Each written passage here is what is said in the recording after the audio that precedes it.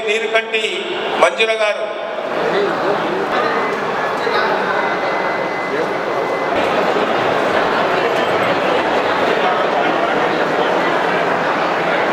అరే బాబు ఏది రా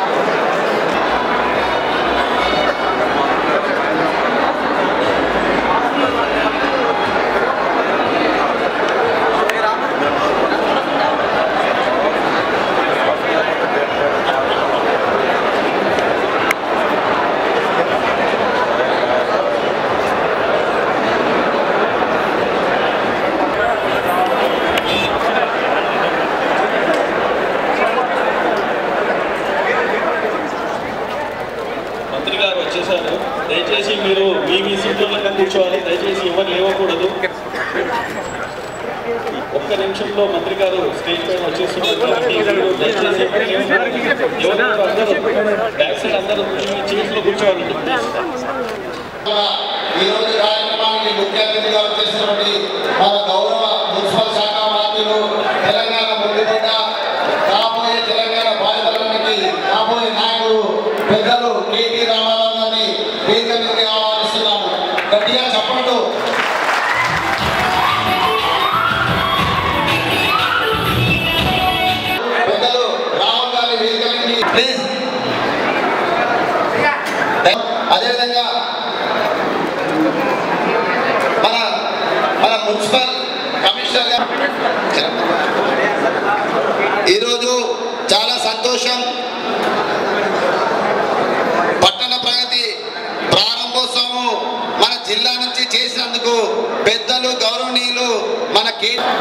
సుస్వాగతం.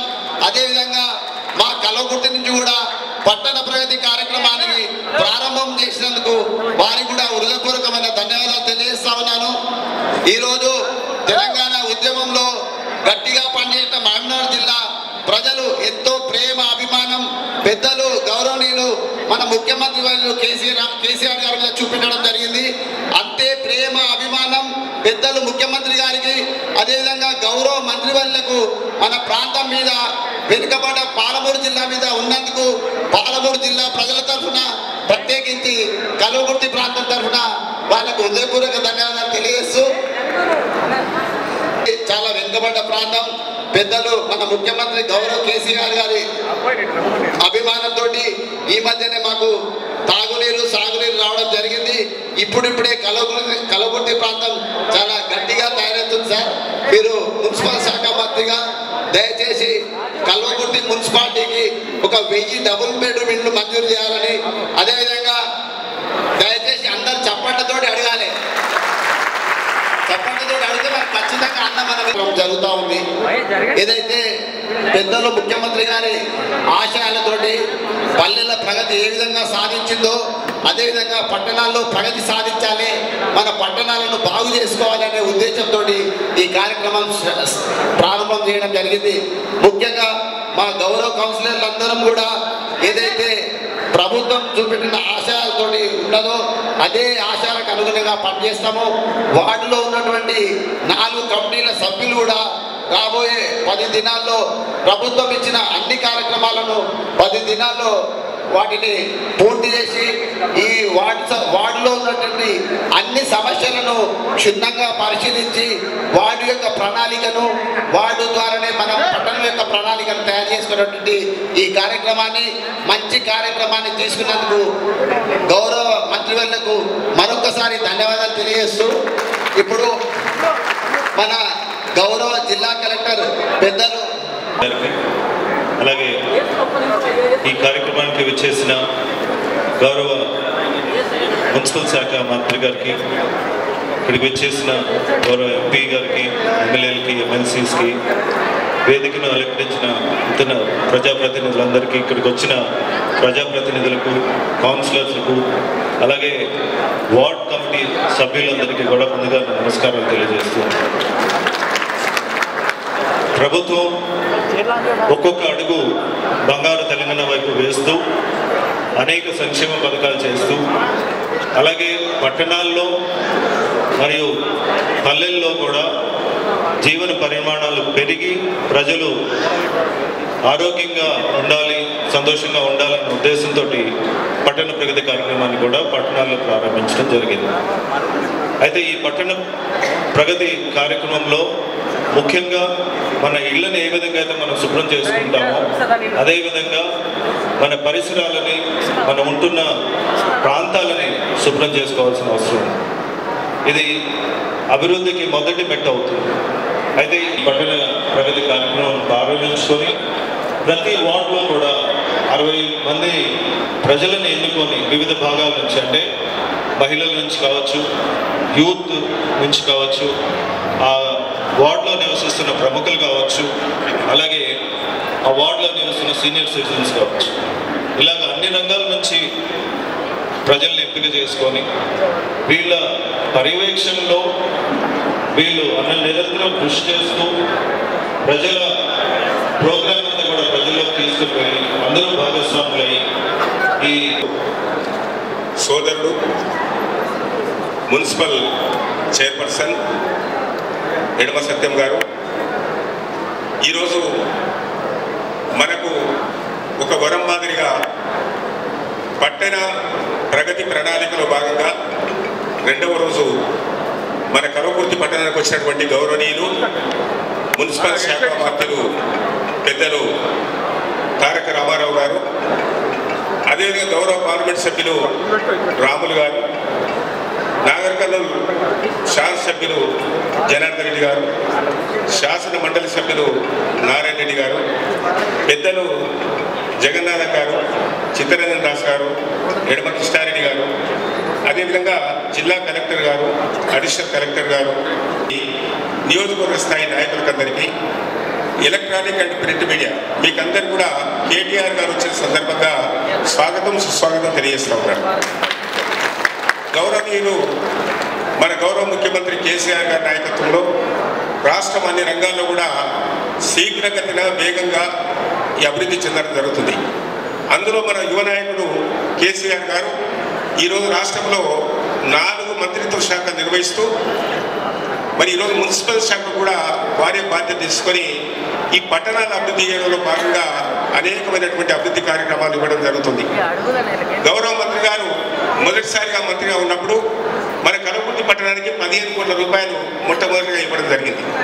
తర్వాత ఒక ఇరవై ఐదు కోట్ల రూపాయలు అనేక గ్రాంట్ల ద్వారా ఇవ్వడం జరిగింది. దాంతోపాటు ఒక నలభై కోట్ల రూపాయలతోటి మిషన్ భగీరథ కార్యక్రమాన్ని మన కలవకుర్తి మున్సిపాలిటీకి ఇచ్చి కలవకుర్తిలో నీటి కొరత లేకుండా చేసినటువంటి ఘనత కూడా మన తారక రామారావు గారిని కేసీఆర్ గారిని సందర్భంగా తెలియజేస్తా ఉన్నాను. అయితే నేను కోరేది ఏంటంటే మన కలవకుర్తి పట్టణంలో ఒక ఎనభై కోట్ల రూపాయల DPR underground drainage system అది రాష్ట్ర ప్రభుత్వానికి పంపించడం జరిగింది. అది మీ షాపులో ఉందనే విషయాన్ని కూడా నేను తెలియజేస్తా ఉన్నాను. ముఖ్యంగా గౌరవమైనటువంటి మన మంత్రి గారికి నేను విన్నవించేది ఏంటంటే ఇప్పుడే మా చైర్మన్ గారు చెప్పినట్టుగా న్యాయమైనటువంటి కోరిక ఇది డిమాండ్ కూడా కాదు. మా కలవకుర్తి అనేది నూట అరవై ఏడు గ్రామ పంచాయతీలు రెండు మున్సిపల్ పట్టణాలు ఇరవై రెండు గిరిజన తాండాలు ఉన్నాయి. అదేవిధంగా ఒక మూడు వందల యాప్లికేషన్స్ ఉన్నాయి ఐదు వందల గ్రామాలతో కూడుకున్నటువంటి కలవకుర్తిలో నిరుపేదలు ఎక్కువ మంది ఉన్నారు. కాబట్టి మాకు పద్నాలుగు వందల డబుల్ బెడ్రూమ్ ఇల్లు రాష్ట్ర ప్రభుత్వం కేటాయించింది. పద్నాలుగు వందలు కాకుండా మాకు ఏడు మండలాలకు ఐదు వందల చొప్పున అదనంగా ఇల్లు కేటాయించాలని మా కలవకుర్తి పట్టణానికి ఇంకొక వెయ్యి ఇల్లు ఆమోదం పట్టణానికి ఒక వెయ్యి ఇల్లు కేటాయిస్తే నిరుపేదలకు నివేశన స్థలాలలో తప్పకుండా ఇళ్ళ నిర్మాణ కార్యక్రమం చేపడతామని కూడా ఈ సందర్భంగా మీరు తప్పకుండా హామీ ఇవ్వాలని కూడా ఈ సందర్భంగా కోరుతా ఉన్నాను అదేవిధంగా మన దగ్గర ఈయన ఆర్ఎండ్బి గెస్ట్ హౌస్ ప్రాంతంలో మనకు కావాల్సినంత స్థలం ఉంది. ఒక టౌన్ హాల్ మంజూరు చేసినట్టయితే ఇది పెద్ద పట్టణంగా తయారైంది. అనగా మీకు ఒక విజ్ఞప్తి చేస్తా ఉన్నాను ఇవాళ హైదరాబాద్ నుంచి శ్రీశైలం వరకు నేషనల్ హైవే. గౌరవనీయులు మన బంద జగన్నాథ్ గారు పార్లమెంట్ సభ్యుడిగా ఉన్నప్పుడు కేంద్రం నుంచి కొట్లాడి తీసుకురావడం తొమ్మిది వందల కోట్ల రూపాయలతో. ఆ నేషనల్ హైవే పూర్తయింది. దాంతోపాటు ఇలా కోదాడ నుంచి అదేవిధంగా సూర్యపేట మల్లెపల్లి అదేవిధంగా చౌరస్తా మల్లెపల్లి నుంచి దేవరకొండ చారకొండ కలవకుర్తి జడ్చర్ల వరకు రెండు వందల ఇరవై కిలోమీటర్ల రోడ్డు మనకి ఎనిమిది వందల యాభై ఎనభై కోట్ల రూపాయలు ఈరోజు చాలా చక్కగా రోడ్డు తయారవుతుంది కలవకుర్తి సెంటర్ ప్రాంతం అయింది. త్రిపుర రోడ్డు వస్తున్నారు కానీ కేంద్ర ప్రభుత్వం ఎందుకో త్రిపురకు మంజూరు చేయలేదు. దాన్ని కూడా ఒకసారి పరిశీలిస్తే అతి సమీపంలో ఉంది. హైదరాబాద్కు ఒక ముప్పై ముప్పై నిమిషాల్లో ఇంటర్ ఇంటర్నేషనల్ ఎయిర్పోర్ట్ పోయే సందర్భం ఉంది. ఈ మధ్య కాలంలో మీరు ఐటీ మినిస్టర్ అయిన తర్వాత ఈ ప్రాంతంలో ఐటీ కంపెనీలు రావడానికి కూడా చాలా ఉపయోగపడ్డది. వేలాది కోట్ల రూపాయలు లక్షలాది కోట్ల రూపాయలు కూడా ఈ రోజు అనేక సంస్థల ముందుకు వచ్చి ఇలా కంపెనీలు ఏర్పాటు కూడా చేయడం జరుగుతుంది. అంతేకాకుండా కర్తాల్లో ఉన్నటువంటి పంతొమ్మిది వేల ఎకరాల్లో pharma township pharma university pharma company రాబోతున్నాయని చెప్తా ఉన్నారు. లక్షలాది మంది కూడా ఇక్కడ ఉద్యోగ అవకాశాలు వచ్చే అవకాశం ఉంది కాబట్టి కల్వకుర్తి ఈరోజు మరి హైదరాబాద్ పట్టణంలో విలీనమైనటువంటి అవకాశం ఉంది. భూముల ధరలు బాగా పెరిగినాయి. కాబట్టి దయచేసి కల్వకుర్తి పట్టణాన్ని ఒక మోడల్ పట్టణంగా తయారు చేయడానికి కావాల్సినటువంటి నిధులు మీ శాఖ ద్వారా ప్రభుత్వం ద్వారా కేటాయించాలని ఈ వేదిక ద్వారా మా కల్వకుర్తి ప్రజానికం మా కల్వకుర్తి కౌన్సిల్ ద్వారా మీకు విజ్ఞప్తి చేస్తా ఉన్నాను. అదేవిధంగా చివరి కోరిక ఏంటంటే అన్న కేఎల్ఐ మాకు స్కీమ్ వచ్చింది. గౌరవనీయులు ముఖ్యమంత్రి గారు పార్లమెంట్ సభ్యులు రాములు శ్రీ రాములు గారిని మాట్లాడవలసిందే కోరుతాను బాగున్నారా? మన నాయకుడు కేటీఆర్ వచ్చినందుక సపోర్ట్ కొట్టాను గట్టిగా కొందరు గుర్తలేరమ్మా. మీరు ఈరోజు మన కలవకుర్తి పట్టణానికి మొట్టమొదటిసారిగా అంటే ఇద్దరు గతంలో వచ్చిండు అందరిని గెలిపించిండు. నేను పార్లమెంటు సభ్యుడిగా తర్వాత మొట్టమొదటిసారిగా మా నియోజకవర్గంలో అడుగుపెట్టినటువంటి గౌరవనీయులు రాష్ట్ర భవిష్యత్తు రథసారథి కేటీఆర్ గారికి హృదయపూర్వకంగా అభినందనలు తెలియజేస్తున్నాను అదేవిధంగా ఈ కార్యక్రమానికి అధ్యక్షత వహించిన మననే కల్వకుర్తి మున్సిపల్ చైర్మన్గా గెలుపొంది చరిత్రను సృష్టించినటువంటి సోదరుడు ఎడ్మా సత్యం గారికి. అదేవిధంగా శాసనసభ్యులు గౌరవనీయులు జయపాల్ యాదవ్ గారికి.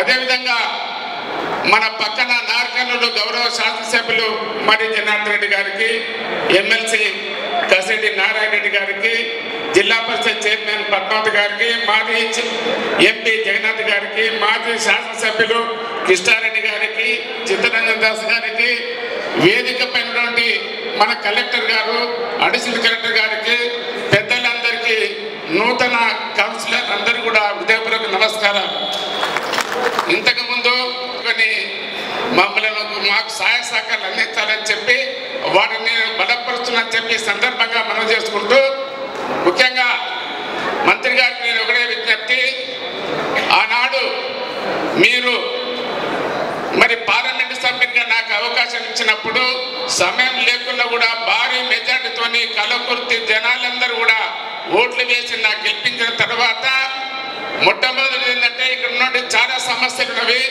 మీరు నిరుద్యోగ యువతకు దిక్సూచి ప్రపంచమే మీ వైపు చూస్తుంది. మేము ఢిల్లీలో పార్లమెంటులో ఉంటే ఇతర రాష్ట్రాల పార్లమెంటు సభ్యులు ఏంటిది మీ కేటీఆర్ గారికి ఏంది? ఇంత స్పీడ్గా పోతుడు ఇంత చేసినట్టే ప్రత్యేకంగా వాళ్ళకి చెప్పడం జరిగింది. ఇది మీకు ఇక్కడ తెలుస్తలేదు. దేశం మొత్తం తెలుస్తుంది. బయట కూడా మీకు గుర్తింపు ఉంది కాబట్టి ఈ కలోకృతి నుండి కర్తాల నుండి కర్నూలు వరకు మన క- నాగర్ కర్నూలు పార్లమెంట్ ఉంది దయచేసి నిరుద్యోగ సమస్య కానీ పరిశ్రమల్లో కానీ మాకు ఒక ఇంజనీరింగ్ కాలేజ్ లేదు మెడికల్ కాలేజ్ లేదు. ఏదైనా సరే మీరు దీన్ని ఒక వెనుకబడ్డ ప్రాంతంగా గుర్తించి ఒక పరిశ్రమలకు మీరు శ్రీకారం చుట్టాలని చెప్పి మా పార్లమెంటు నియోజకవర్గ పక్షాన మీకు విధించడం జరుగుతుంది. అదేవిధంగా నియోజకవర్గంలో మీకు అనుకూలమైనటువంటి స్థానంలో ఒక మెడికల్ కాలేజీని ప్రారంభించాలని చెప్పి కూడా అందుకు అనుమతి ఇవ్వాలని చెప్పి నేను ఈ సందర్భంగా మీకు హృదయపూర్వకంగా విజ్ఞప్తి చేస్తున్నాను. అదేవిధంగా మా చిరకాల వాంఛ మీకు తెలుసు నలభై యాభై ఏళ్ళ నుంచి మేము కోరుకుంటున్నాం ఎదురు చూస్తున్నాం. గద్వాల మాచెల్ల రైల్వే మార్గం. దయచేసి ఇది అతి కష్టమైనటువంటి సమస్యనే ఉండదు. కానీ కానీ సంవత్సరానికి ఒకటి రెండు వందల కోట్ల రూపాయలు మంజూరు చేస్తే కేంద్రం రాష్ట్రం తీసుకోవడానికి ముందున్నది. ఆ సమస్యను మేము ఢిల్లీలో మీకు వినియోగించడం జరిగింది. దయచేసి దీన్ని కూడా దృష్టిలో పెట్టుకోవాలని చెప్పి నేను గౌరవ మంత్రి గారిని కోరుకుంటూ సపోర్ట్ కొట్టారు రైలు వస్తే మనకు. రైలు చాలా మంది ఉంటారు ఇక్కడ. రైలు చూడలేదు వీళ్ళు రైలు వద్దా మనకు వద్దా ఆ, అ- అదేవిధంగా ముఖ్యంగా ఇవన్నీ ఇక్కడ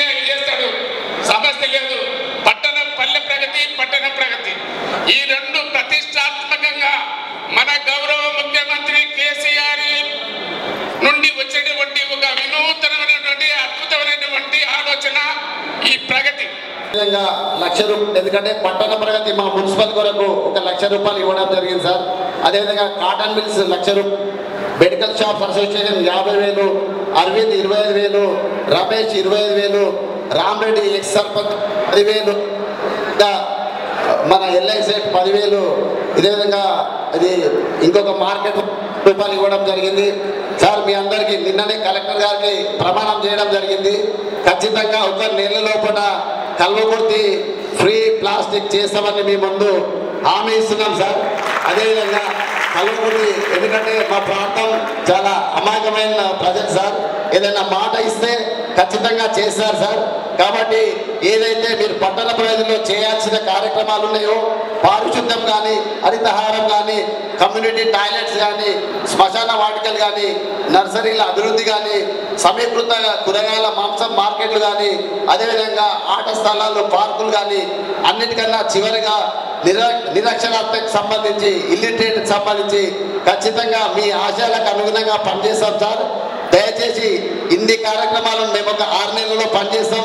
మా మీద మీరు మరింత ప్రేమ చూపెట్టాలని మా అభివృద్ధికి మా మున్సిపల్ మరింత ముందుకు తీసుకుపోవడానికి మీ వంతు సహాయ సహకారాలు అందిస్తారని మనస్ఫూర్తిగా మా కలగుర్తి పట్టణ ప్రజల తరఫున చప్పట్లతో మిమ్మల్ని కోరుతూ ఇంత మంచి అవకాశం ఇచ్చి మమ్మల్ని ఆచరించడానికి వచ్చిన పెద్దలు గౌరవనీయులు మన రాష్ట్ర భవిష్యత్ నాయకుడు ఎన్టీ రామారావు గారిని మాట్లాడవలసిందిగా కోరుతా ఉన్నాను.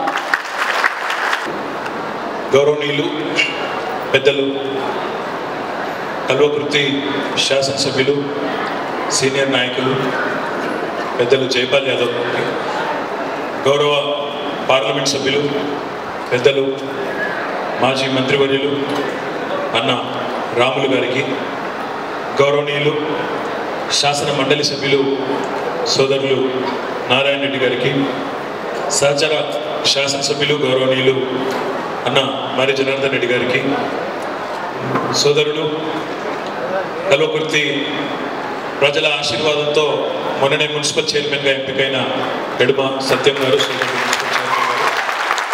గౌరవనీయులు బాలాజీ సింగ్ గారు జిల్లా పరిషత్ ఉపాధ్యక్షులు విజితారెడ్డి గారు మన్నించాల. గౌరవనీయులు మన జిల్లా పరిషత్ చైర్పర్సన్ గారికి అదే మాదిరిగా పెద్దలు మాజీ పార్లమెంట్ సభ్యులు ఇప్పుడే రాములు గారు చెప్పినట్టు హైదరాబాద్ నుంచి శ్రీశైలం దాకా ఉన్న జాతీయ రహదారి మంజూరీలో తెలంగాణ సాధనతో పాటు అత్యంత కీలక పాత్ర పోషించిన మాజీ పార్లమెంట్ సభ్యులు డాక్టర్ మందా జగన్నాథం గారు.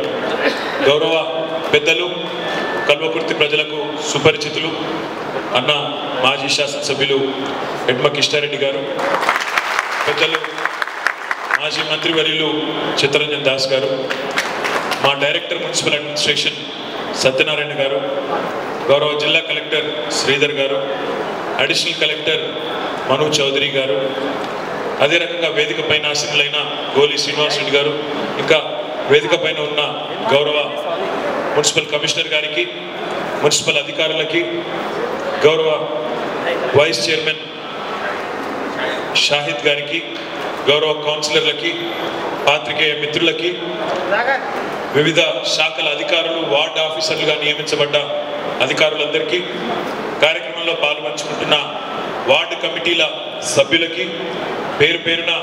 అందరికీ ఈరోజు హృదయపూర్వకంగా నమస్కారాలను తెలియజేసుకుంటాను రాములు గారు అదే రకంగా పెద్దలు జయపాల్ యాదవ్ గారు.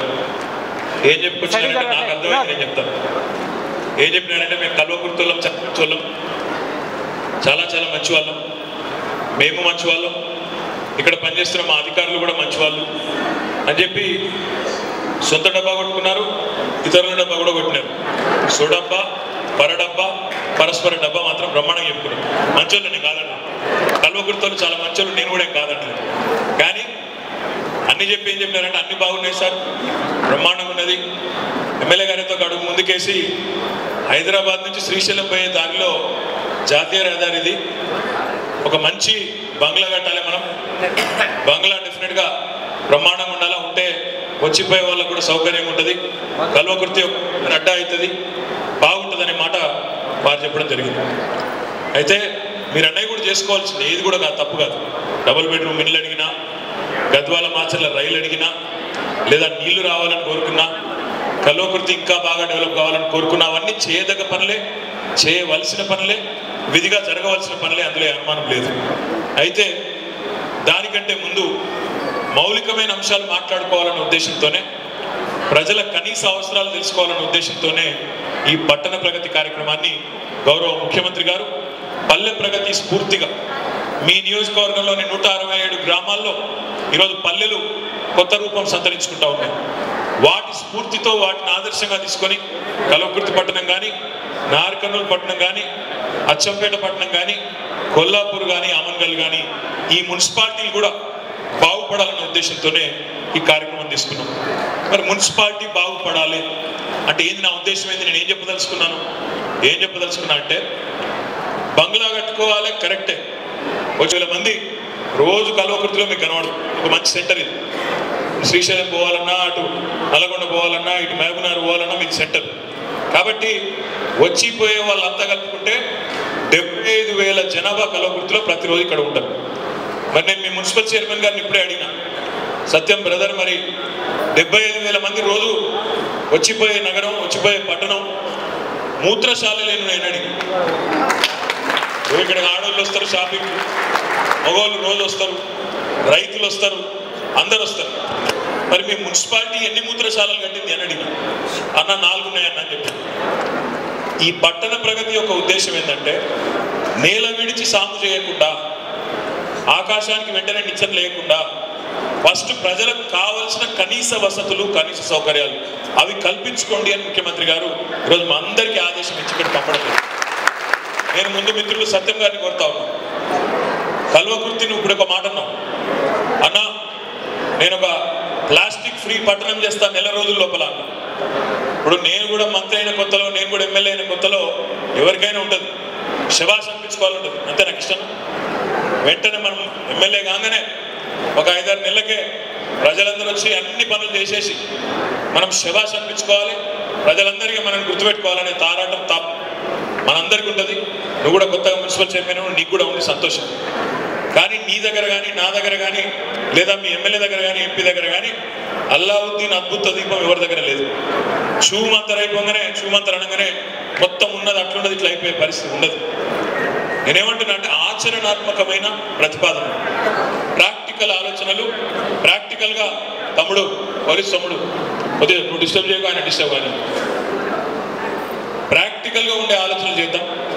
ప్రజలతోని మమేకమై ప్రజలతోని భాగస్వాములై ప్రజలను పరిపాలనలో పురపాలనలో భాగస్వాములు చేసి ముందుకు పోదామనేది నా విజ్ఞప్తి. నేను తమ్ముడు సత్యంతో ఒకటే కొడతాను ముందుగా మున్సిపల్ చైర్మన్ అయిన మంచి శుభ సందర్భంగా మీ పట్టణంలో ప్రస్తుతం నాలుగున్న పబ్లిక్ టాయిలెట్స్ను ఒక డెబ్బై డెబ్బై ఐదు టాయిలెట్లు రాబోయే నెల రోజుల్లో కట్టి చూపెట్టి. నెంబర్ వన్ అందులో సగం మహిళలకు ఉండాలి సగం పురుషులకు ఉండాలి. సగం మహిళలకు ఉండాలి. ఎందుకంటే మా అక్క చెల్లెలు ఇక్కడ చాలా మంది ఉన్నారు. మనకంటే ఎక్కువ కోసం వాళ్ళకు ఉంటుంది. వాళ్ళు షాపింగ్కి వచ్చినా బయటికి వెళ్ళి ఎక్కడికి వచ్చినా మగవాళ్ళంటే కొంచెం సిగ్గు విడిచి బయట కూడా పోతారు కానీ వాళ్ళు ఎక్కడ పోవాలో వాళ్ళకి చాలా ఇబ్బంది ఉంటుంది. కాబట్టి దయచేసి నేను కోరేది ఏంటంటే డెబ్బై కడితే ముప్పై ఐదు షీ టాయిలెట్స్ ఉండాలి ముప్పై ఐదు పురుషుల టాయిలెట్స్ ఉండాలి. అది ఎక్కడ కడతావో నెల రోజుల లోపల కట్టి చూపెట్టని చెప్పి నేను ఒక సవాల్ విసురుతా ఉన్నా మీ మున్సిపల్ చైర్మన్ అంటే మనము పెట్టుకుంటే సవాల్కి ఇట్లాంటివి పెట్టుకుందాం. అప్పుడు ఏమవుతుంది పని జరుగుతుంది ప్రజలు సంతోషపడతారు. మీకు కూడా ఉన్నది ఆ చెప్పేది. సపోర్ట్లు బాగా కొడుతున్నారు మీ చైర్మన్ గారు అంటే మీరు సపోర్ట్ కొడుతున్నారు. మీకు కూడా ఉండదు. ఇక్కడ కూర్చున్నారు మా అక్క జిల్లాలో ఉన్నారు ఇక్కడ. నాకు ఒకసారి మహిళా వార్డు కమిటీ సభ్యురాలు ఒకసారి చేయలవటాలి వార్డు కమిటీ సభ్యురాలు ఎవరైతే మహిళలు ఉన్నారో కౌన్సిలర్లు కాదు వార్డు కమిటీలు కమిటీలు వేసినారు కదా వార్డుల్లో.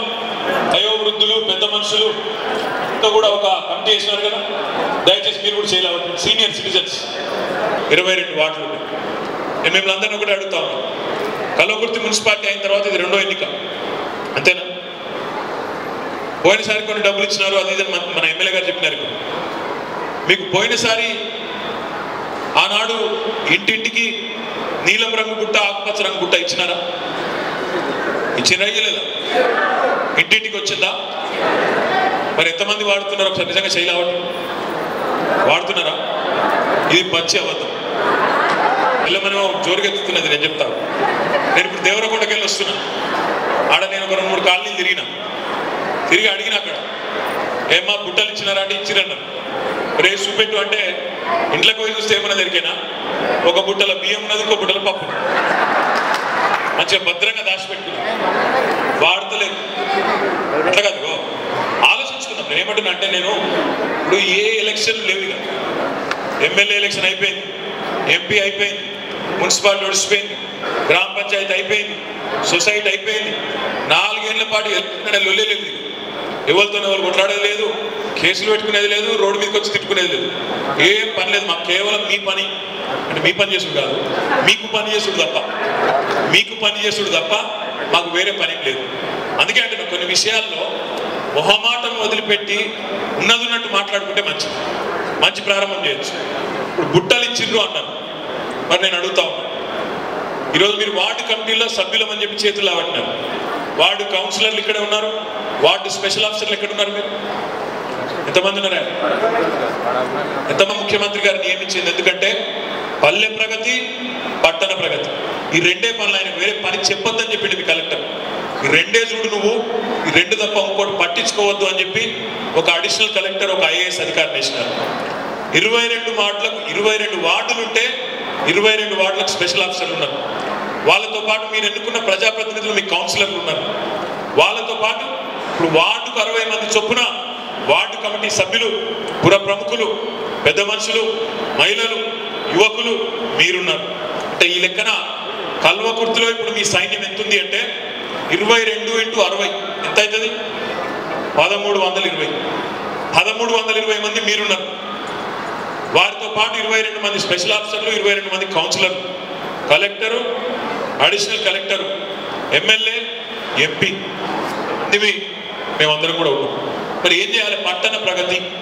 పది రోజుల కార్యక్రమం. ఏం చేయాలి పట్టణ ప్రగతిలో? మీ నుంచి ఏం ఆశిస్తున్నాం? మేమేం చేస్తాం? ఇప్పుడు ఎమ్మెల్యే గారు అడిగినారు అన్న ఇవి ఇన్ని డింగ్లు ఇవ్వాలి ఇన్ని పైసలు ఇవ్వాలి ఫలానా ఫలానా ఇవ్వాలి అని చెప్పినారు. సంతోషం.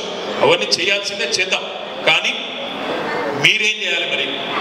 నాలుగేళ్ళ సమయం ఉంది ఇప్పుడే నేను చెప్పిన.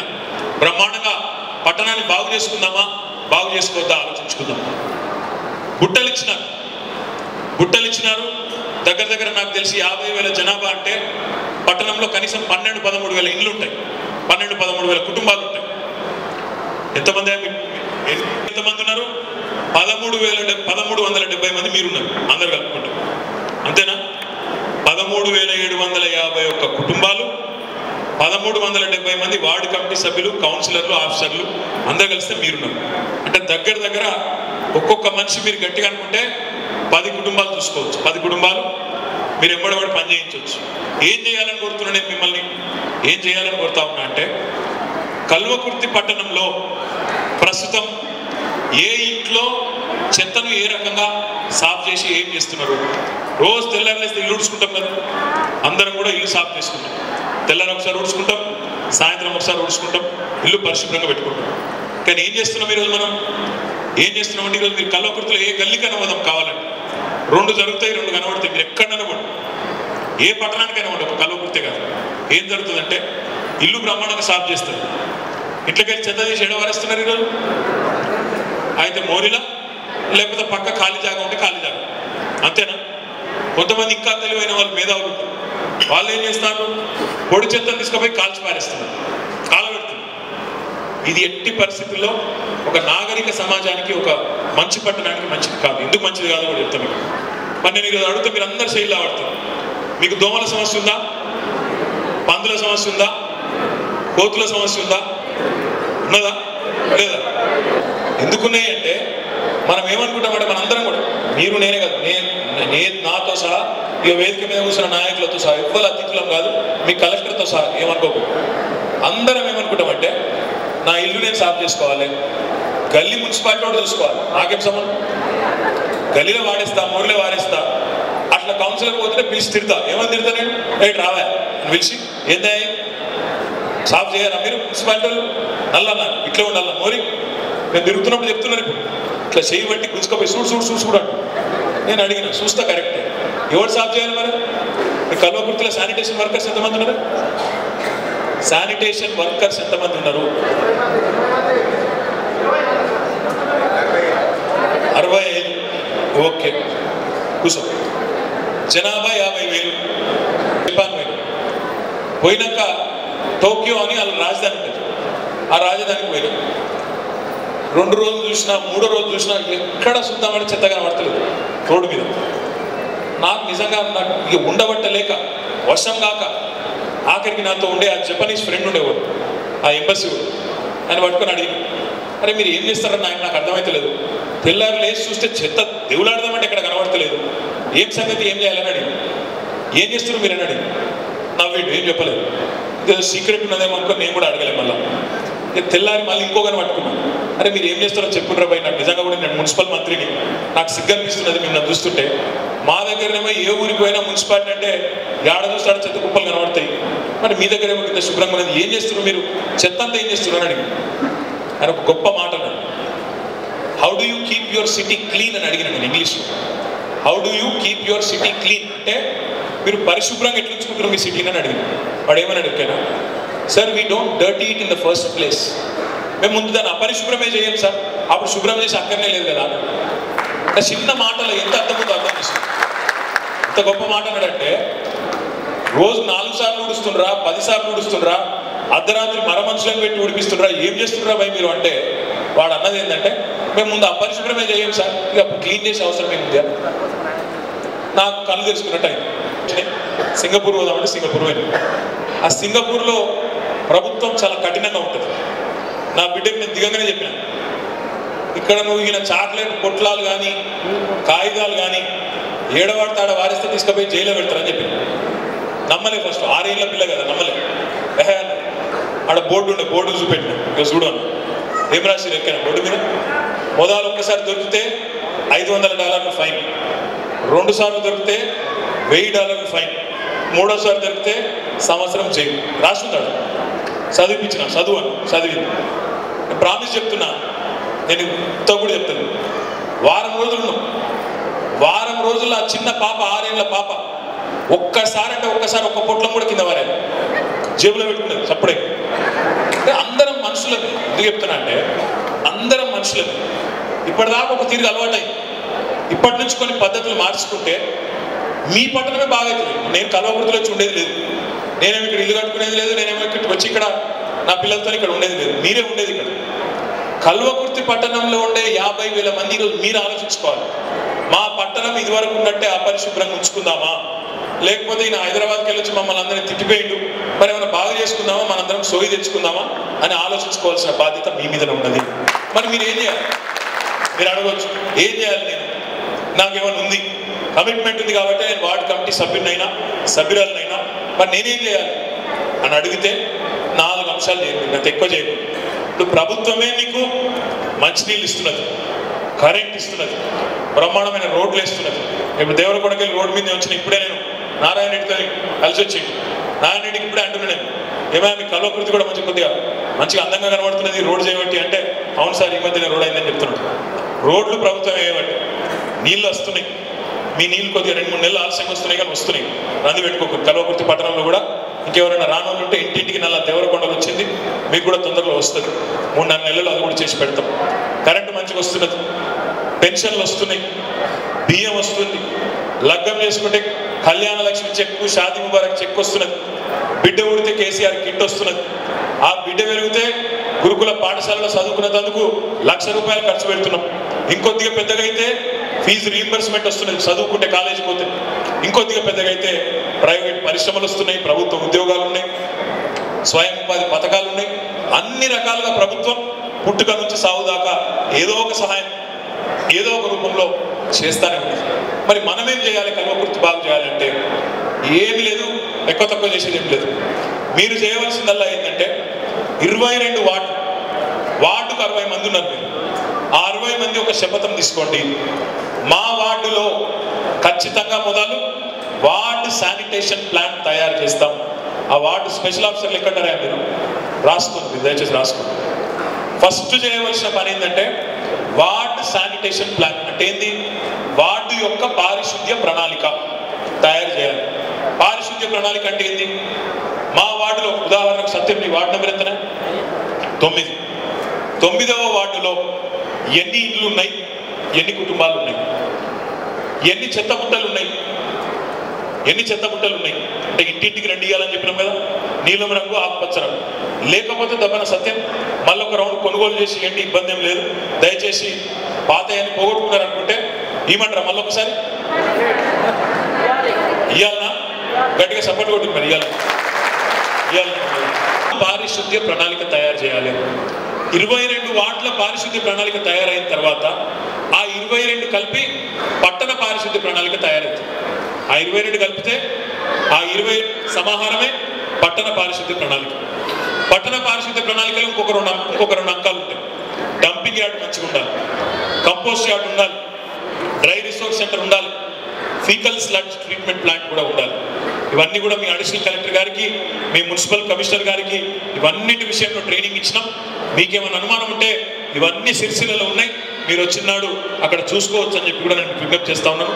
జస్ట్ ఒకసారి చూస్తే మీకు అవగాహన వస్తుంది. దయచేసి చూసి అర్థం చేసుకుని కల్వకృతిలో వాటిని ఇంప్లిమెంట్ చేయడం నేను కోరుతా ఉన్నాను. రెండవ పని ముఖ్యమైన పని వార్డు కమిటీ సభ్యుల నుంచి మేము ఆశించేది. నేను రాంగరంగా చూసుకుంటూ వచ్చిన. కల్వకుర్తి ఏమైనా చెట్లు ఉన్నాయా లేవా అని చూసిన. చెట్లు పెద్దగా లేవు. లేదా అక్కడోటి మనోటి తప్ప గొప్పగా లేదు పరిస్థితి. దయచేసి నేను కోరుతా ఉన్నా ఈరోజు మీ కల్వకుర్తి పట్టణానికి ఒక నర్సరీ ఉన్నది. ప్రతి పట్టణానికి నర్సరీ ఉన్నది. దేశంలో ఏ రాష్ట్రానికి లేని విధంగా ప్రతి గ్రామానికి నర్సరీ ఉన్న ఏకైక రాష్ట్రం తెలంగాణ గర్వంగా ఈరోజు చెప్పుకునే ఇది ఎందుకు చెప్తా ఉన్నా అంటే ఈరోజు మీరు చూస్తున్నారు. ఎండాకాలంలో వానలు పడుతున్నాయి. వానకాలంలో ఎండలు కొడుతున్నాయి. చలికాలం ఎప్పుడు ఉంటుందో ఎప్పుడు పోతుందో అర్థమే అవుతలేదు అంత గందరగోళం ఉన్నది. వడగండ్ల వానలు పడతాయి ఎండాకాలంలో. వాతావరణ మార్పులు ప్రపంచవ్యాప్తంగా అడ్డగోలుగా వస్తా కాబట్టి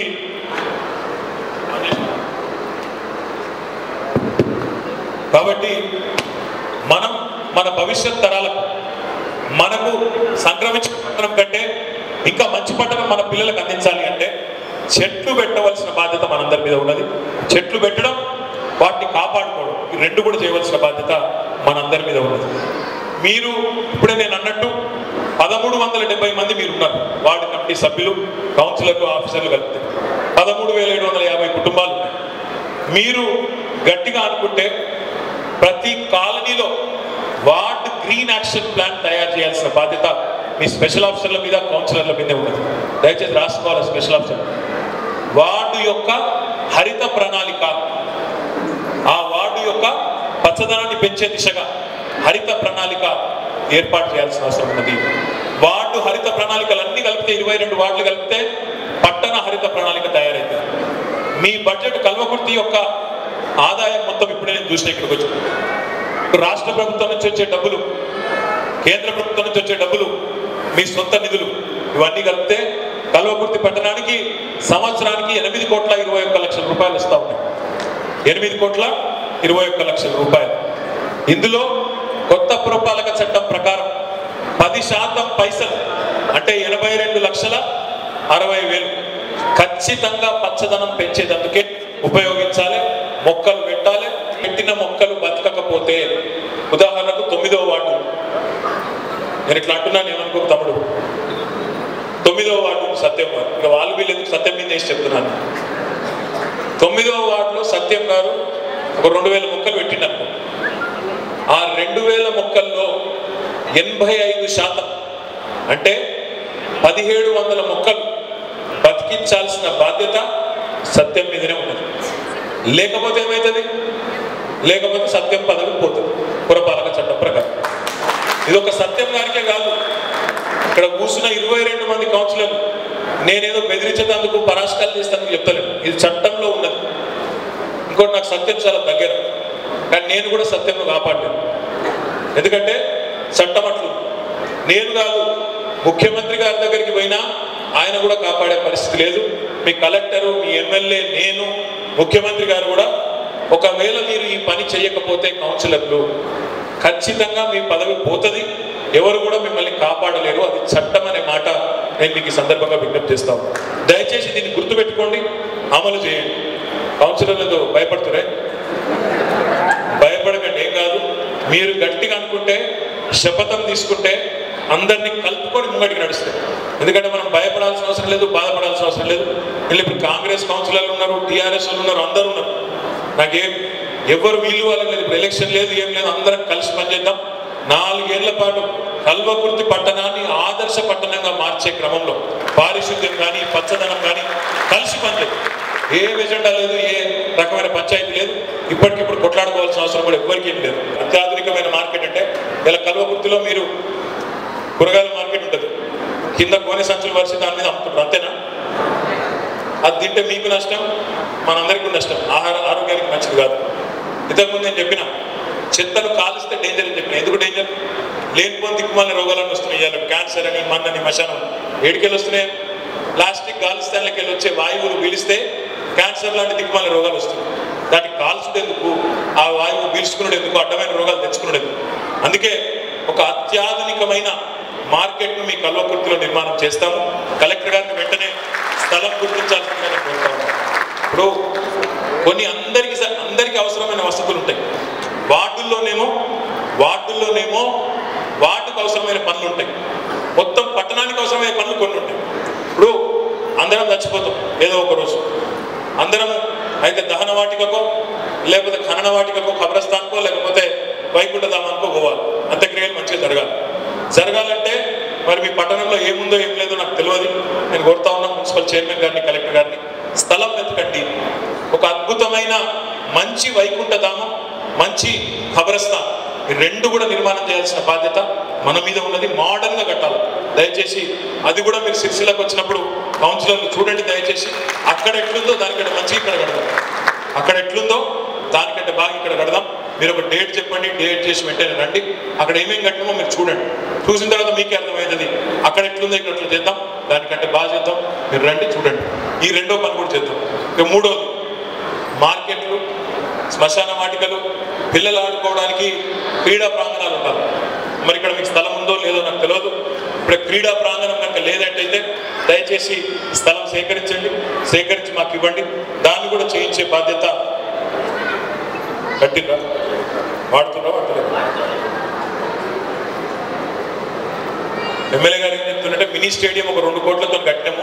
దాని వినియోగంలోకి తీసుకురండి అని అడుగుతున్నారు. తప్పకుండా నేను కలెక్టర్ గారిని కోరుతా ఉన్నాను. ఇంకేమైనా చిన్న చిన్న గ్యాప్స్ ఉంటే మహబూబ్ నగర్లో చేసినట్టు మహబూబ్ నగర్లో చేసినట్టు ఇక్కడ కూడా చేయండి. బ్రహ్మాండంగా దాన్ని కూడా వినియోగంలో తీసుకొని వద్దాం. ఓపెన్ జిమ్ములు కావాలి.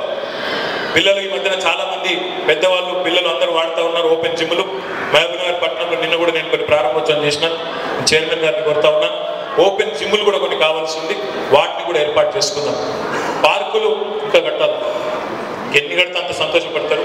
కట్టండి. మహిళల కోసం కొన్ని ప్రత్యేకంగా కట్టండి.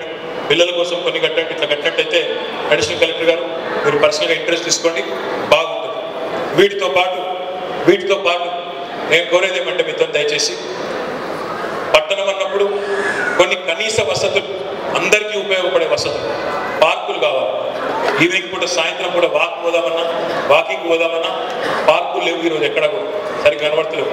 ఉన్న పార్కులు లేఅవుట్లలో కబ్జాలకు గురవుతా ఉన్నాయి నేను అడిషనల్ కలెక్టర్ గారిని చైర్మన్ గారిని కమిషనర్ జకీర్ గారిని కోరుతా ఉన్నాను. నేను ఇప్పుడు వచ్చినప్పుడు కూడా చూసినా. మీ కల్వకుర్తిలో రియల్ ఎస్టేట్ బాగా జోరుగా నడుస్తున్నది. ఇటుపోయిన ప్లాట్లే అటుపోయిన ప్లాట్లే ఇటుపోయిన ప్లాట్లే ఎటుపోయిన ప్లాట్లే కానీ కానీ ఆ సపోర్ట్ కొట్టేది ఏం లేదన్న. కానీ అట్లా సగానికి పైగా దొంగలే ఒకట్లే ఉంది కాదా నేను చెప్పేది? నేను వాస్త చెప్పేది వాస్తవమైన సపోర్ట్ కొట్టు ముందు మనం మారాలి మన నగరం మారాలి మన పట్టణం మారాలి అంటే మనం మారాలి. మనం ఎందుకు మారాలంటే కల్వకుర్తి బాగు చేసేందుకు హైదరాబాద్ వాడు రాడు. నాగర్ కర్నూలు రాడు. అచ్చంపేట వాడు రాడు.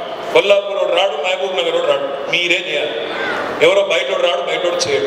మాకుండదు కడుపునకు మాకేముంది నేను వచ్చినా మీకు చెప్పినా అవసరమైన నిధులు మంజూరు చేస్తా అని చెప్తున్నా అవసరమైతే కొన్ని అదనంగా వాహనాలు మంజూరు చేస్తా అని చెప్తున్నా అదనంగా శానిటేషన్ సిబ్బంది కావాలంటే అదనంగా మంజూరు చేస్తా అని చెప్తున్నా ఇవన్నీ చేస్తా.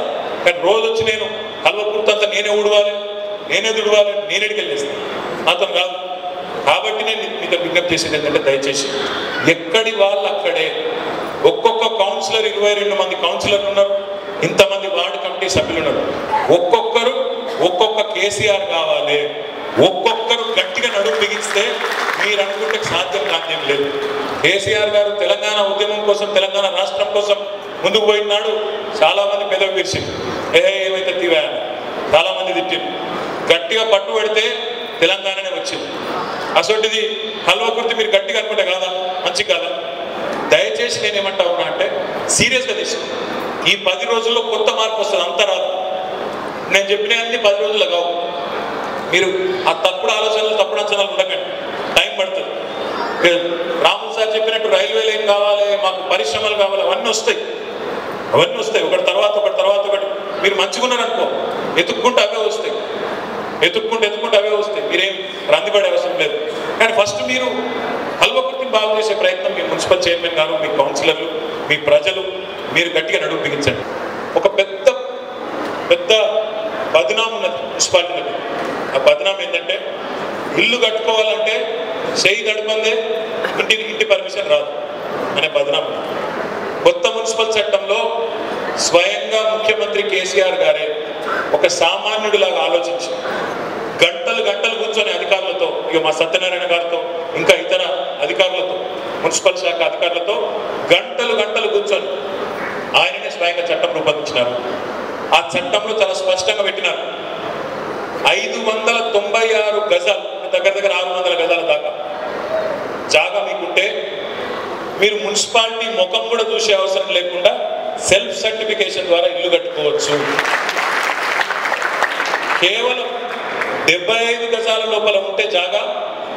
మీరు కట్టుకోవచ్చు వెంటనే స్టార్ట్ చేసుకోవచ్చు డెబ్బై ఐదు నుంచి ఆరు వందల మధ్యలో ఉంటే ఒక దరఖాస్తు మున్సిపాలిటీ వారేసి పని మీరు చేసుకోవచ్చు. అంటే ఎంత విశ్వాసం మీ మీద ఈ ప్రభుత్వం పెడుతున్నది? ఎంత అధికారం ఎంత విశేషమైన అధికారం ప్రభుత్వం మీకు ఇస్తున్నది? దాన్ని బట్టి మీరు అర్థం చేసుకోవచ్చు ఇదివరకు ఏముంటుండే? మీరు దరఖాస్తు పెట్టాలి. ఇక ఆయన ఇచ్చినప్పుడు ఇస్తాడు. పర్మిషన్ ఆయన ఇష్టం. ఆయన బుద్ధి పుట్టినప్పుడు నెలకి ఇవ్వచ్చు రెండు నెలలకి ఇవ్వచ్చు మూడు నెలలకి ఇవ్వచ్చు ఇప్పుడు అందుకే సిస్టమ్ మార్చింది ఒక రూపాయి ఫీజు కట్టి ఒకటే రూపాయి ఫీజు కట్టి డెబ్బై ఐదు గజాల లోపల ఉంటే వెంటనే ప్రారంభించుకోవచ్చు తెల్లారి నుంచే కట్టుకోవచ్చు. ఆరు వందల గజాల లోపు ఉంటే కూడా ఇరవై ఒక్క రోజుల అనుమతులు మీకు వస్తాయి మీకు కట్టుకుంటూ వెళ్ళిపోతుండొచ్చు. దరఖాస్తు పెట్టుకోవాలి అంతే.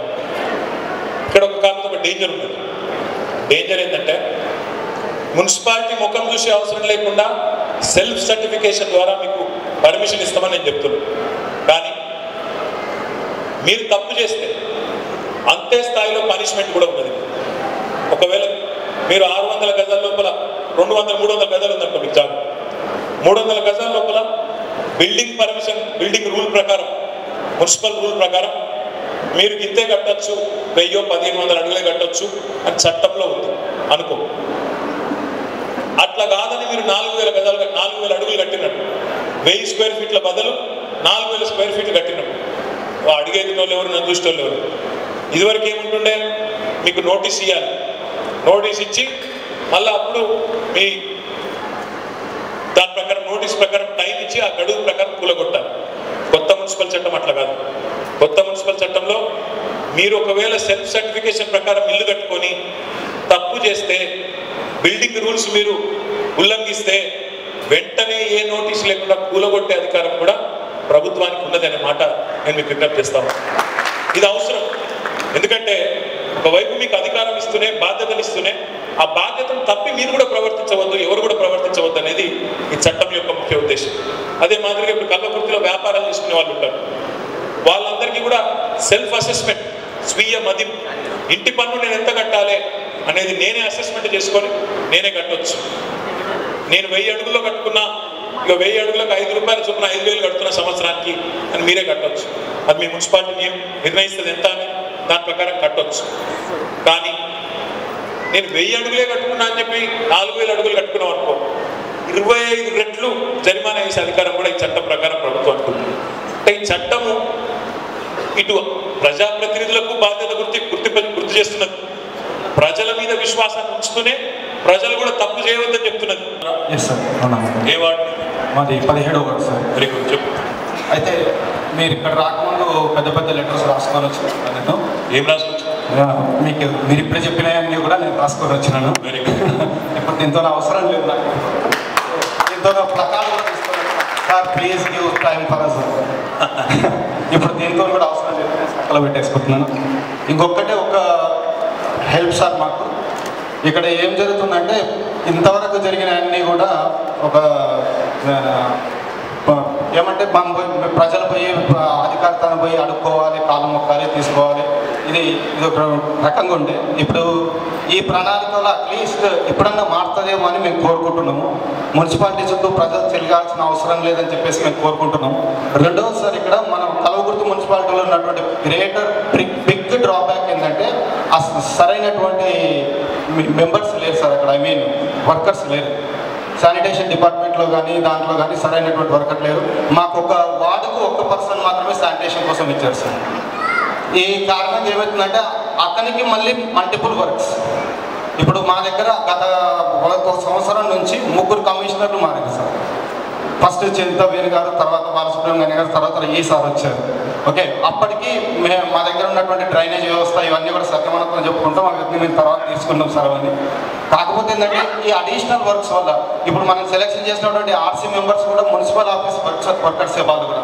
వాళ్ళకి ఈ అడిషనల్ వల్ల మేము ఒకవేళ కమిషనర్ దగ్గరికి ఐ మీన్ కౌన్సిలర్ ఆఫీస్లో వెళ్ళి ఏదైనా కంప్లైంట్ ఇవ్వాలి లేదా ఎవరైనా కలవాలి అంటే వీళ్ళు లేకుండా పోతున్నాం సార్ దానివల్ల మాకు పెద్ద సమస్య ఏర్పడే అవకాశం ఒకటి ఉన్నది. రెండవసారి ఇక్కడ కమ్యూనిటీ హాల్స్ ఇప్పుడు ప్రతిసారి మాకు ఏమైందంటే దాదాపు రెండు కిలోమీటర్లు అవుతుంది సార్ ఊరు నుంచి ఇక్కడికి రెండు కిలోమీటర్లు అవుతుంది సార్ ఇక్కడ రెండు కిలోమీటర్లు ఒక సాధారణ వ్యక్తి ఆ ఆడపిల్ల రావాలి కౌన్సిల్ ఆఫీస్ కంటే చాలా ఇబ్బంది అవుతుంది కాబట్టి ఒక వార్డుకు ఒక కమ్యూనిటీ హాల్ని మీరు ఇస్తే కనుక అదే కమ్యూనిటీ హాల్లో ఒక వార్డుకి నలుగురు శానిటేషన్ డిపార్ట్మెంట్ వాళ్ళు ఒక వాటర్ బాయ్ అట్లా కనుక మేము అక్కడే అన్ని సమస్యలన్నీ అక్కడే నిర్వహించుకొని కమిషనర్ అసలు కౌన్సిల్ మున్సిపల్ ఆఫీస్కి రావాల్సిన అవసరమే లేకుండా చేసేటట్టయితే మీకు ఒక అది ఉంటుంది సార్. ఇంకొకటి శానిటేషన్ డిపార్ట్మెంట్లో జాబ్ హోల్డర్స్ కనుక ప్రాబ్లం అయితే కనుక నేటి యువత డిగ్రీ చేస్తున్న వాళ్ళు ఇంజనీరింగ్ చేస్తున్న వాళ్ళు ప్రతి ఒక్కరికి రియంబర్స్మెంట్ ఫీజు వస్తుంది సార్. దాదాపు ninety percentage of students are getting that reimbursement fee అయితే వాళ్ళని కూడా కొంత బాధ్యత వాళ్ళపైన కూడా వేస్తే బాగుంటుందని మేము కోరుకుంటాం సార్.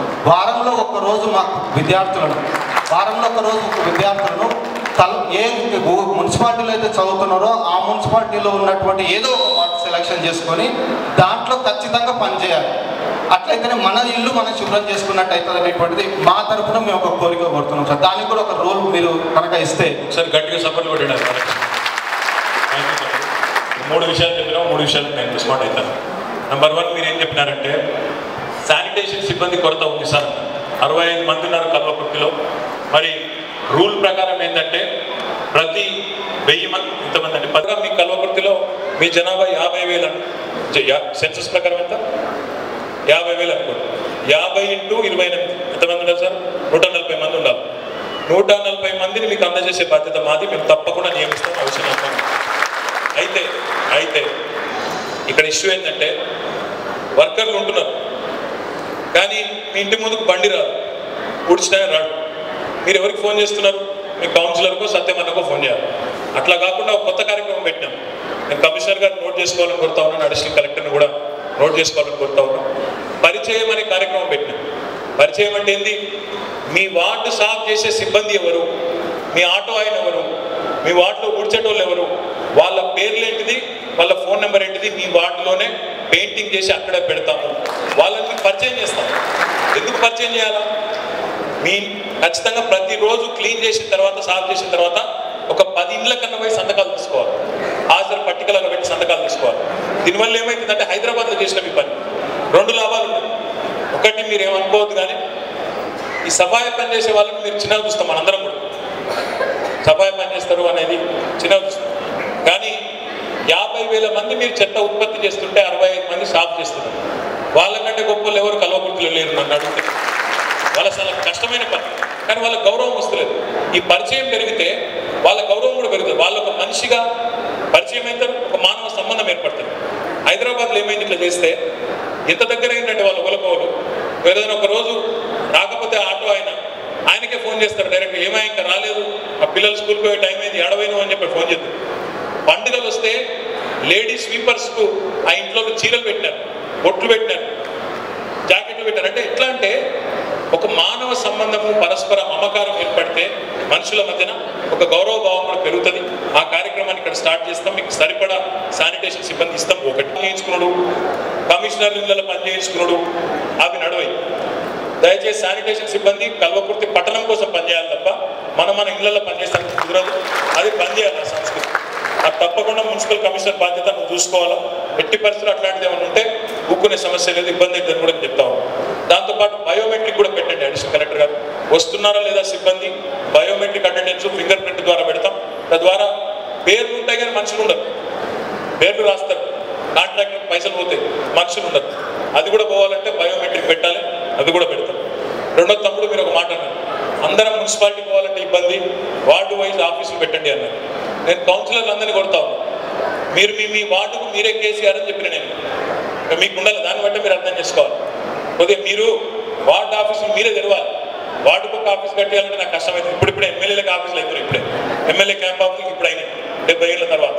వార్డు కౌన్సిలర్కి ఆఫీస్ అంటే కష్టమవుతుంది కాబట్టి కౌన్సిలర్లు దయచేసి మీరు అందుబాటులో ఉండి ప్రజలను మీరే అరుచుకుంటే ఎందుకంటే మీరు ప్రజలతో గెలిచిన మీరు గట్టిగా ఉంటే మీరు తమ్ముడు చెప్పినట్టు బాలకృష్ణ చెప్పినట్టు ఆంధ్ర అందరూ పొలమని మున్సిపల్ చైర్మన్ దగ్గరకో లేకపోతే మున్సిపల్ కమిషనర్ ఆఫీస్కో కార్యాలయంకో పోవాల్సిన అవసరం ఉండదు. మీరు కౌన్సిలర్ గట్టిగుంటారు మీరు దయచేసి లేడీ కౌన్సిలర్ ఉంటారు మీరు ఏం చేస్తారంటే మీ భర్తలకు అప్పయ్యారు వాళ్ళు రాజకీయం చేస్తుంటారు మీరు పట్టించుకోరు. అది పద్ధతి కాదు. గెలిచింది మీరు. పని చేయవలసింది మీరు. మీ భర్తలు కాదు మీ తమ్ముళ్ళు కాదు మీ బావలు కాదు మీ ఇంటోళ్ళు కాదు మీ కొడుకులు కాదు. మీరు చేయాలి. సత్యం ఇక్కడ మున్సిపల్ చైర్మన్ ఉన్నాడు. సత్యం బదులు సత్యం భార్యను కూర్చోబెట్టిండు అనుకో ఇక్కడ. ఎట్లుంటుంది? బాగుంటుందా? ఇది కూడా అంతే మీ బదులు మీ భర్తలు తిరుగుతారు వాటిలో తిరగదు సాయం చేస్తామని బ్రదర్ మీరు ఎన్ని రకాల వినూత్నమైన ఆలోచనలు చేయదలుచుకుంటే ఆయన చేయండి. నిన్న మహబూబ్ నగర్లో శ్రీనివాస్ గౌడ్ గారు ఏం చేసినారంటే నేను చెప్పలే ఆయన.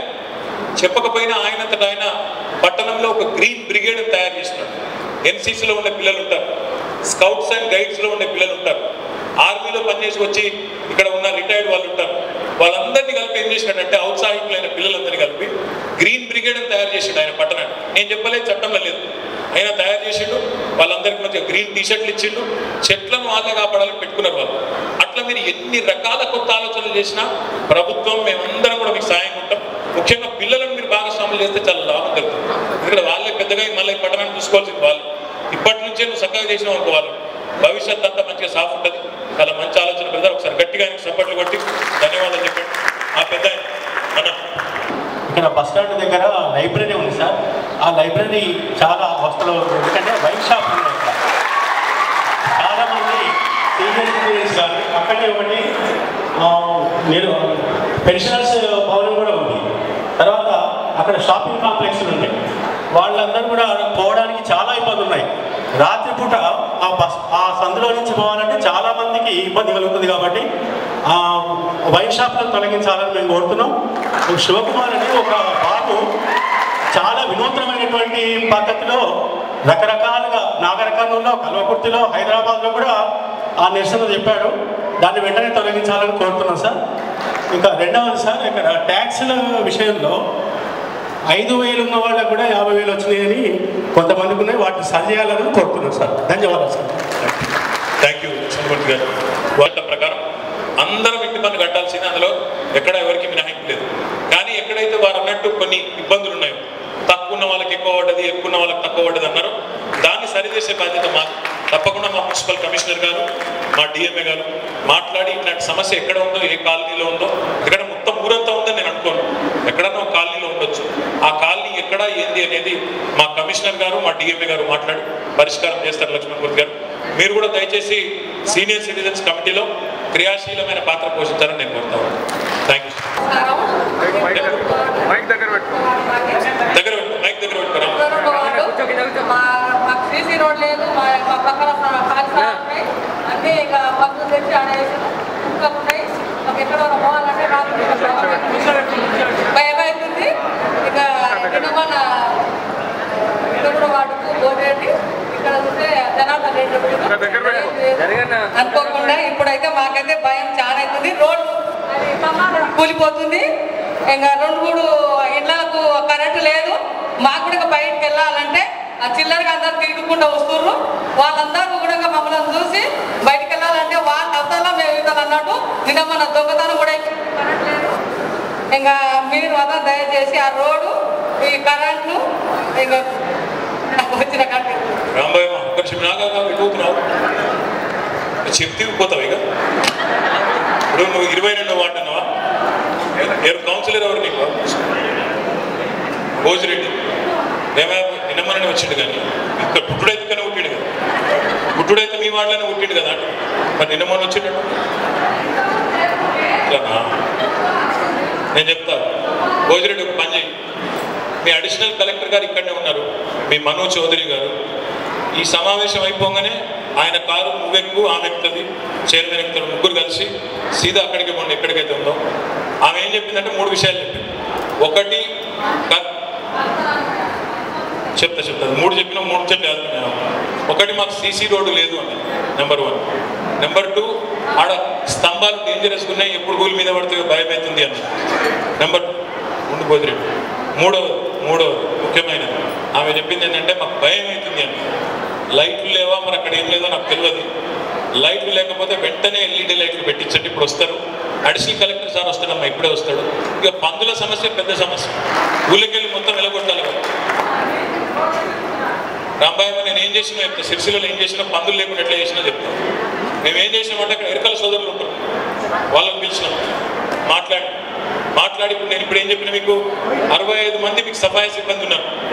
దాన్ని మీరు నూట నలభై ఏమో చేయాలి.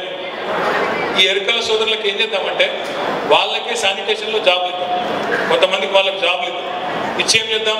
వాళ్ళ మీ వృత్తి పని చేసుకోవాలి మీరు ఉండొద్దు అని చెప్పి వాళ్ళని ఒప్పించి మాట తీసుకొని బంధువులన్నింటి ఊరవదలు నిలబొట్టిగా మొత్తం మీ పట్టణాన్ని పరిశుభ్రం చేసి పెడతాం. కాబట్టి కొద్దిగా టైం పడుతుంది ఇప్పుడు వెంటనే అడిషనల్ కలెక్టర్ వస్తారు మీతో ఇది అయిపోగానే సమావేశం అయిపోగానే భోజరెడ్డిని తీసుకొని పో సార్. చైర్మన్ తీసుకొని అమ్మని తీసుకొని ఓకే? థ్యాంక్ యూ రమేరు జై థ్యాంక్ యూ